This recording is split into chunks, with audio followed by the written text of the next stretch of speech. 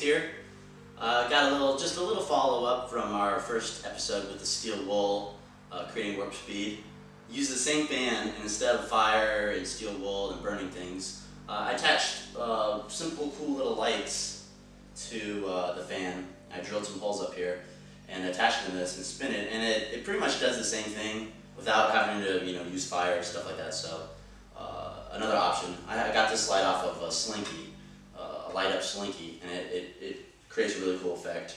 And I have these holes up here, so if you wanted to put lights in here, you would just create even more lights for your pattern when it's spinning. So uh, let me turn it on so you can kind of see what we're with here.